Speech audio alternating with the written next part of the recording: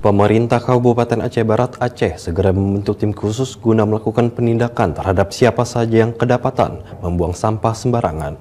Hal ini dilakukan guna menjadikan pusat pemerintahan Kabupaten Aceh Barat sebagai kota bersih tanpa sampah. Tim khusus yang terdiri dari Dinas Lingkungan Hidup dan Kebersihan Aceh Barat, Satpol PP dan TNI Polri Rencananya dibentuk pada bulan Desember ini dan mulai beroperasi pada awal Januari 2023. Mereka nantinya juga akan ditempatkan di sejumlah lokasi seperti pusat kota, tempat wisata, dan sejumlah fasilitas umum.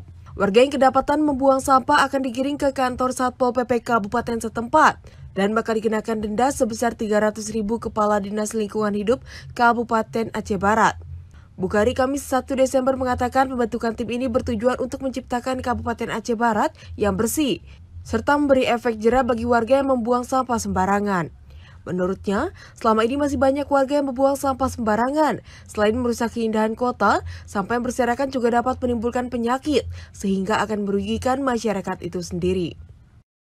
Awal Januari kita mulai tempatkan orang-orang kita, tim kita di titik-titik yang kritis yang sering dibuang sampah oleh masyarakat. Apabila tertangkap, kita proses hukum, langsung kita bawa ke tempat uh, isahnya uh, pengambilan uh, dendanya, itu kita akan buat di Satpol PP nanti.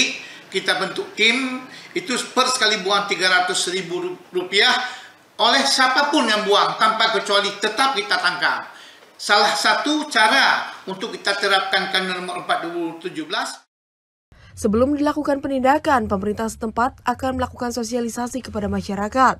Pemerintah juga akan menyebar puluhan spanduk yang bertuliskan larangan dan penindakan terhadap masyarakat yang membuang sampah sembarangan.